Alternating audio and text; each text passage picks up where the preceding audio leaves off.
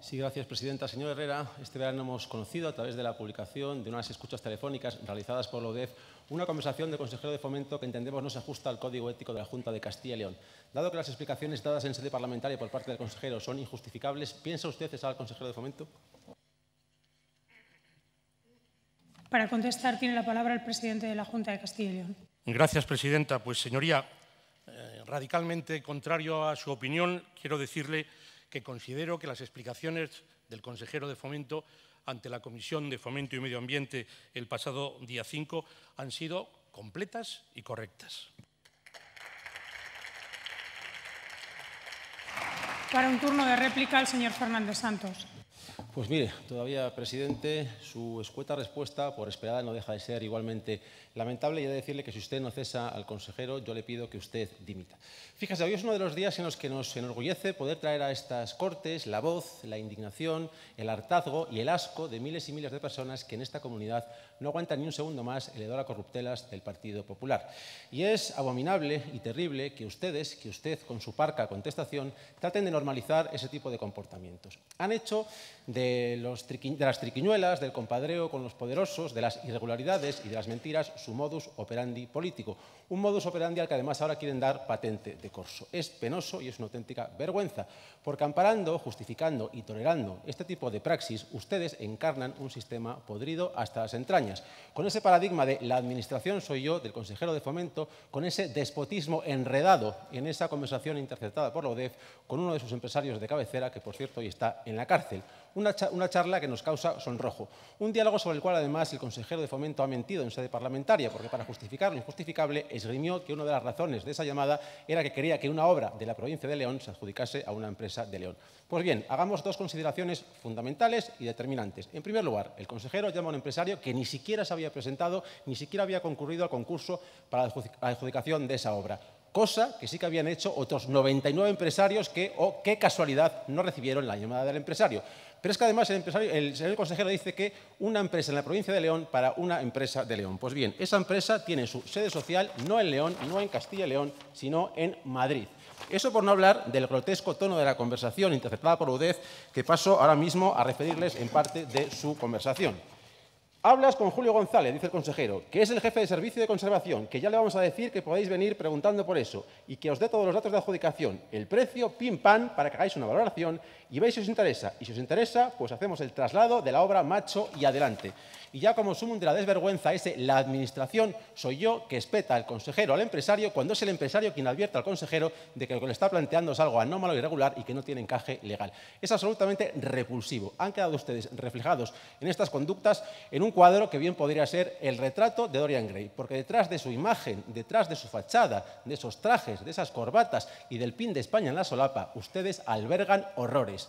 Eólicas, Perla Negra, sedes y embajadas en el exterior, tramo de la enredadera son el nombre de la infamia, un negro rosario que mancha y abochorna a toda Castilla y León.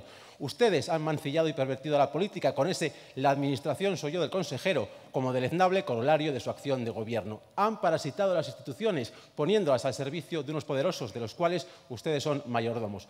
No le veremos a usted, no veremos a nadie de su gobierno llamando a un albañil o a un mecánico o a un frutero o a un panadero para ofrecerle trabajo o su auxilio, pero sin embargo, si se prosternan, si se doblegan ante esos privilegiados de los cuales ustedes son simples marionetas menos peleles de los que mueven los hilos. Y le diré otra cosa, si hubiesen puesto el mismo empeño, la misma diligencia y el mismo esfuerzo en preservar y salvaguardar los empleos de trabajadoras y trabajadores que en esta comunidad están siendo arrasados por multinacionales, que igual que han puesto interés en favorecer a determinados empresarios, otro gallo cantaría y quizás no habría miles de familias tiradas en la cuneta. El drama y el problema es que para ustedes el interés general es el beneficio y el lucro de una minoría.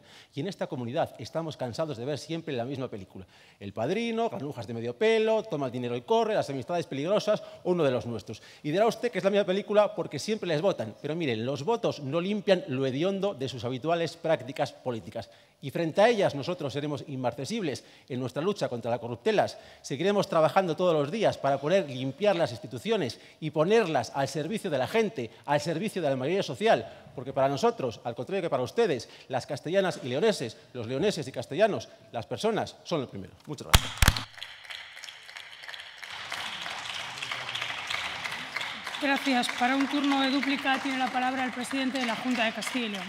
Muchas gracias, señora presidenta. Una vez más, señor Fernández, como nos tiene acostumbrados, a falta de argumentos de fondo, utiliza usted eh, desmesuradamente la sal gruesa. Hombre, el momento de los pescados a la sal ha pasado con el verano y vamos a centrarnos fundamentalmente en la cuestión que su señoría plantea. Mire, del propio contenido y de la propia redacción de su pregunta resultan ya dos cosas que para mí quedan muy claras. En primer lugar, que no debió quedar su señoría demasiado contento del papel realizado por su grupo en la comparecencia del señor consejero en la pasada comisión, cuando usted tiene que reproducir aquí algunos eh, argumentos y además adobarlos con esa sal gruesa. Y en segundo lugar, hombre, por fin, porque en aquella comisión desde luego no, no lo reconocían, de su pregunta se deduce que usted paladinamente reconoce que en el comportamiento del consejero no hubo nada ilícito. Ese comportamiento fue plenamente legal cuando su señoría centra esta cuestión, y ya sabemos que desde la superioridad moral que siempre tienen las izquierdas respecto de la derecha, del plano de la ética. No ha hecho ninguna referencia, porque usted lo sabe, porque usted es consciente que es una comportamiento, una actuación del señor consejero que se inscribe plenamente en las consideraciones, en las previsiones de la ley de contratos del Estado. No podía ser de otra manera, porque como también sabe perfectamente su señoría, de esa conversación que se graba en el marco de unas conversaciones en relación con hechos que nada tienen que ver que están siendo investigados judicialmente y que nada tienen que ver con el comportamiento y con la actividad pública del consejero, no se ha deducido ninguna consecuencia, no ha habido ningún tipo de investigación, no se ha seguido ninguna otra actividad policial o judicial, no se ha pedido ninguna documentación, no se ha pedido que declare el consejero.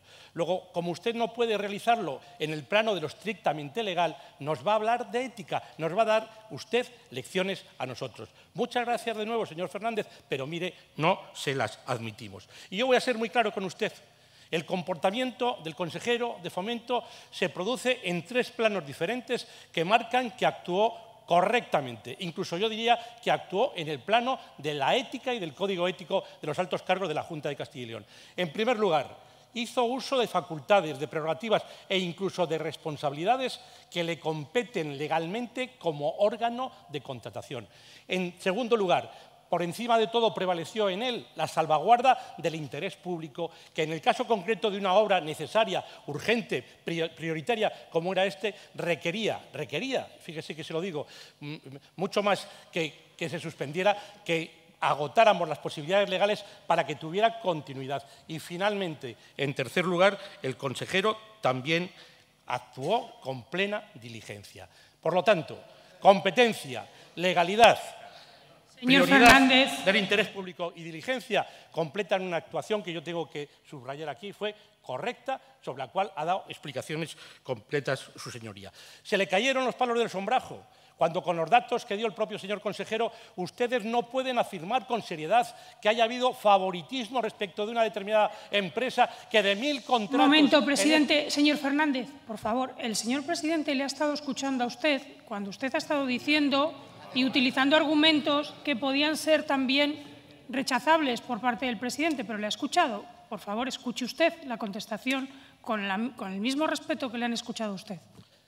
Cuando a usted se le acredita que de mil contratos de obra de esta eh, consejería en esta legislatura, solamente dos, y en régimen de unión temporal de empresas, han ido a parar a esa empresa, se le cae el palo del sombrajo de la sumisión, del amiguismo o del trato de favor. Señor eh, eh, Fernández, eso es así. O cuando se le demuestra que esa empresa no accedió a ninguno de los otros contratos en los cuales hay un cierto margen de discrecionalidad por el carácter urgente o por tratarse de obras menores. Mire, usted confunde el plano de lo legal o lo deja aparte con el plano de lo ético. Y yo lo que le quiero decir es que no me parece ético el comportamiento de su señoría, o tal vez sí, porque es un objetivo, para denigrar a la política, para denigrar a los políticos, para distorsionar una conducta legal, para mentir, como ha vuelto a hacer su señoría aquí. Desde luego, cuando usted no tiene nada que decir, nos tiene acostumbrados a sobreactuar. Y yo, finalmente, quiero decirle también,